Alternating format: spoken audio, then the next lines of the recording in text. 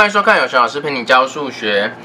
这个甲乙丙共有两百元哈，然后甲给乙十元，则甲的钱是乙的两倍；乙给丙十元，乙的钱是丙的三倍哈。所以甲也不知道有多少，乙也不知道有多少，丙也不知道有多少。那但是我知道甲、乙、丙合起来是两百。然后如果甲给乙十元，那甲就少十元了，乙就多十元了，这样甲的钱是乙的两倍。如果乙给丙十元，那乙就少十元了，丙就多十元了，那乙的钱是丙的三倍。求解。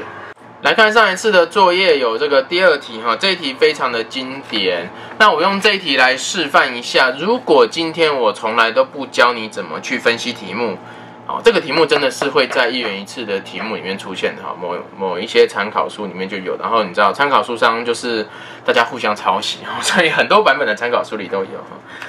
那如果今天我不跟你说这个这个题目。他要怎么去分析的话，我前面都不教你分析的话，你就会看到这个解答上留下很神奇的计算内容。老王以四十斤的价格买进一批橘子一百啊，一斤四十元的价格买进一批橘子一百斤哈，发现烂了十斤不能卖，较好看的一斤卖六十，不好看的一斤卖二十，最后赔两百。请问好看的橘子有几元吗？好色，好看的。橘子字太多哈，笔画太多，写起来又粘在一起，画一个符号。色好看的橘子有 x 斤，然后嗯，我说这个你会看，你去翻他的题目解答哈。色好看的橘子有 x 斤，下面这条就是方程式了。方程式是什么呢？嗯，x 二十 x 加上更正。六十 x 加上二十挂号九十减 x 哈，然后这个减四千等于负两百，这样。那求解啊，它后面是解方程式，也很简单。那问题就是说这一条哪来的？你可以，你现在我已经写给你看了哈，如或者说你拿你就翻过去看答案哈，你已经看到这一条。那你是可以回想一下，那这条他在讲什么？其实也也是有人可以看得懂，可是问题是说，你看到他的时候，你懂他在干嘛？是不是代表你再一次看到这个题目，你写得出来？六十 x 是好看的六十斤嘛，每斤就六十 x 元嘛。那不好看的一斤卖二十嘛，所以这是什么？对不对？这是什么？那减四千，四千哪来？嗯，哦，四十乘一百啊。那所以赔二十嘛，赔两百对不对？所以呢，这个分析题目挺重要的哈。那我之前有讲到过，就是你一开始如果看不出来这一题我到底不知道什么，那你可以试着去写这个式子。你写到你写不出来的东西，那个就是你不知道的。所以以这个题目来说的话呢，哦，最后赔两百嘛。所以没有错，我们试着来写这个式子哈。那我们前面有教你赔是什么东西？赔就是收入减成本，所以收入减成本等于啊，等于上面啊负两百，这个就赔嘛，对不对？那收入多少？收入呃有点复杂，先看成本，成本比较简单哈，是一斤四十元买一百斤嘛，所以这里是四千没有错。对不对？减好，那收入是多少？收入总共有两个来源嘛，好看的一斤卖六十，不好看的一斤卖二十嘛，所以一斤卖六十，好看的几斤？不知道，不好看的一斤卖二十，不好看的几斤？不知道，所以这个时候你就知道哦，我有两个东西不知道，一个是好看的，一个是不好看的，对不对？好，那他们的关系是什么呢？这个就是一个你最后的方程式哈，会是一个关系嘛？所以他们的关系之一就是最后这个赔两赔两百哈。如果你写不太出来的话呢，就是我前面有教你哈，写不太出来这个关系的话，你没办法直接写出这一条，你就去扩充它的未知数。那这个收入是多少？成本是多少？成本后来你会发现，你知道吗？是四千哈，所以赔两百这件事情就是收入减四千等于负两百，对不对？那好看不好看跟收入的关系是什么？哦，好看卖的钱跟不好看卖的钱合起来要是收入嘛，所以这个好看有几斤不知道哈，这个单位是斤哈，这个收入的单位是元哈。所以好看有几斤不知道，那好看卖六十，一斤卖六十，对不对？六十倍，加上不好看的一斤卖二十，是收入，对不对？好，那然后还有一个关系啦，怎么样？总共一百斤嘛，可是要注意什么？烂了十斤不能卖，所以其实好看跟不好看呢，合起来只有九十斤。这样子你就可以解出来了。首先呢，你也可以怎么样？干脆把收入就换掉了。这个这个收入的部分哈，因为你收入可以用这个表示嘛，所以你这个收入的部分就改写成，就把这个搬下来，这样就变这一条也可以。或者你也可以先不要，没差。挑一个设 X 啦哈，那都可以哈，这两个都可以挑好看的好了，因为他最后问这一个。好看设 x，所以不好看呢，你就会发现它是九十减 x，因为好 x 加它是九十嘛，等号两边同减 x，不好看就是九十减 x，这两个带进来这里，所以其实收入可以表示成这一条用掉了，让它以 x 表示，这一条用掉了，让它以 x 表示是六十 x 加上二十乘上九十减 x 嘛。最后用这一条解方程式的时候，就会变回这样子，对不对？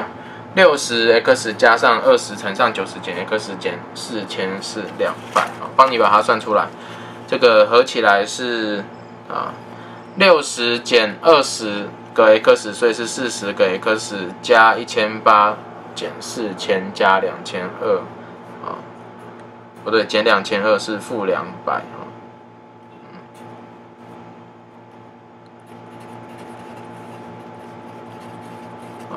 所以等号两边同加两千二哈，所以四十 x 其实是两千哈，x 是五十哈，所以好看的橘子有五十斤哈，不好看的四十斤，可以吗？这是这一题，接着来看上一次留下作业的最后这一题哈，那这一题我们要稍微的拿本子来写一下。又是关系哈，我们上一堂课介绍了一个关系是什么？这个我说分配就是除法，所以就要写成被除数等于除数乘以商加余。那这一堂课我们多学一个关系，这个关系叫做追及。追及有什么关系哈？它比较特别。追及这件事情同时带来两种可能有的关系，第一个。叫做同时间，第二个叫做同地点。什么叫做追及？我怎么样会追到你？就是我跟我在同一个时间跟你在同一个地点的时候，我就追到你。我不是说这个情感上的追求，对我我要追追逐你哈。那这个我要怎么样才才算追到？就是我跟你同一个时间在同一个地方就追到了。听起来像废话哈，可是其实它很实用啦。同一个时间哈，如果你们同时出发，代表这个经过的时间相同哦。我写两个字就好了，你们继续写啊。经过的时间相同。如果同一个地点哈，你们要到同一个地点，如果你们同一个起跑点，到时候你们会到同一个地点，代表你们经过的地点相同啊。经过的时间相同，经过的地点相同。我们来看这个问题：甲的速度三十，乙的速度四十，乙让甲先跑一段，所以他们是不同时间出发的。可是他们啊，题目没有写，他们应该是同一个起跑点出发的。在两分钟后，乙会追上甲，所以经过的地点会相同。那两分钟后，经过的距离了哈，经过的距离会相同。不好意思哦，改一下哈，经过的时间和经过的距离，同地点的话，起跑点一样，经过的距离会相同。所以在两分钟之后，乙移动了多少的距离呢？乙移动了四十乘二。那甲呢？甲移动了，从乙开始跑，甲也一起在跑啊，所以甲移动了三十乘二，还加上他原本多跑的那一段，所以其实甲原本跑多了，跑多远？哈，多跑了二十。啊，不过不对，哦，不对啊，单位不对哈。我发现这个人是神速哈，他一秒就跑三十公尺。我记得这个奥运短跑记录哈，是这个一秒九点多的样子哦。对，所以呢，乙让甲乙在两分钟之后追上甲，他其实跑了一百二十秒哈。所以其实。这个 x 等于哈一百二十乘以十，一千两百，所以甲一开始跑了一千两百公斤，可以吗？这两个都是神速。那这个就是这一题哈，要记住我们刚刚讲追击的话呢，它有两个情形，一个是同时间，应该说它同时会有这两个性质哦，就是你要同时间在同地点才算追到。如果题目跟你说他们是同一个起跑点。同一个地点会追到，代表他们经过的距离一样。如果题目跟你说他们是同时间啊，同时间跑的，他们到了同时间到那个地方，代表他们经过的时间一样。所以就看题目怎么说呢？你就去抓这个一样的部分，它就会成为一个关系，就可以列出一个式子求解。这里有三题，那大家来写一下吧。利用这个时间哈，我们就来介绍一些这个有趣的事情。那今天要介绍的呢，就要由熊老师登场来介绍哈。大家好，这个我是熊老师哈。那熊老师是一只尾熊，我们今天要介绍的就是尾熊，可以吗？啊，那这个 尾熊这种动物呢，在呃中国哈称为树熊、树袋熊，有有叫树熊，有叫树袋熊，所以。台湾叫无尾熊，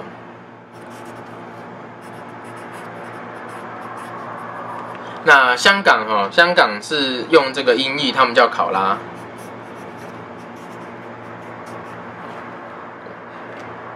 它的英文是 koala koala 哈，k o a l a。那这个无尾熊呢？它其实是刚才讲哈，它是树袋熊，它是有袋类的，跟袋鼠一样是有袋类的。我们在看那个影片哈，袋鼠的小袋鼠不是会从袋鼠的口袋这里跑出跑出一个头这样子吗？那无尾熊不会发生这件事情哈。你没有看过这个无尾熊的妈妈口袋这里有一个小无尾熊的头，原因呢是因为它虽然是有袋类的动物呢，可是它的袋子是朝下面的。所以它的袋子在肚子的下面，妈妈哈，妈妈的袋子在肚子的下面，所以无尾熊宝宝呢是从下面跑出来的。妈妈的，它应该说它它被生产出来之后会倒着跑，钻回去这个袋子里面住一阵子，然后再从下面跑出来。它的袋口朝下，很特别。无尾熊吃的这个食物呢，叫做尤加利哈。尤加利是一个。非常具有经济价值的作物，因为它可以拿来做纸浆哈。为什么会选尤加利来做纸浆呢？因为是经过适度的这个呃育种哈，那你可以让尤加利长得非常的笔直，所以在有限的土地上面，尤加利可以种很多棵，它都会直直的一直往上长，那这样就可以就是收成纸浆的时候可以比较多，而且它长很快，它六年。就可以长长成那个可以采收的纸浆的这个成年的树木哦。那不过尤加利有非常多的品种，无尾熊只吃其中少数几种。原因是因为呢，这个原因是因为呢，这个尤加利其实是有毒的哈。对无尾熊而言哈，对人类而言它都是有毒性的哈。无尾熊只是其中几种，它们需要。体内哈，他们的这个体内呢会有解毒的酵素来解毒，所以其实小无尾熊生出来之后呢，它的第一个副食品，就好像我们小婴儿如果生出来都会吃苹果泥啊，吃这个含有维他命还有钙质的奶粉哈。小无尾熊生出来之后，它的第一个副食品呢，其实是妈妈的大便哈，因为他们需要从妈妈的肠胃里面来取得这个能够解毒、能够解除这个毒性哈，尤加利毒性的这个酵素。所以这个是无尾熊和无尾熊的毛是灰色的，在全世界只有澳洲，它的主要的那个栖息地哈，只有澳洲而已。因为某些原因哈，它就是它在澳洲大陆生生长就没有办法移到外外地去，也许是因为它行动迟缓。因为无尾熊它只吃尤加利树叶，所以它跟熊猫一样，它们摄取的热量很少，所以它的活动能力很差，所以它们一天绝大多数的时间都在睡觉。那平均来说，无尾熊的寿命是十几年到二十年哈，所以熊老师他已经二十五岁了，基本上是无尾熊里的雄瑞。那这个就是无尾熊啦，有机会再跟大家介绍更多哈。无尾熊是属于夜行性的动物，然后现在在澳洲是保育类动物，但是不是濒临绝种的。它们其实还蛮多，没有很多只哈，但是有一些地方的无有的喂熊数量有一定量啊。所以是保育类的，而且是稀有动物，但是不是濒临绝种的动物。好，谢谢我们的熊老师哈。好，我们刚才留下了这里有三题哈，这个顺序没有关系，来看一下。今天刚好没有作业哈，然后我们的时间已经快到了，所以给你们当作业好了哈，努力的把它写完吧。来抄一次他们的题目哈。嗯，那我们今天课上到这里啦。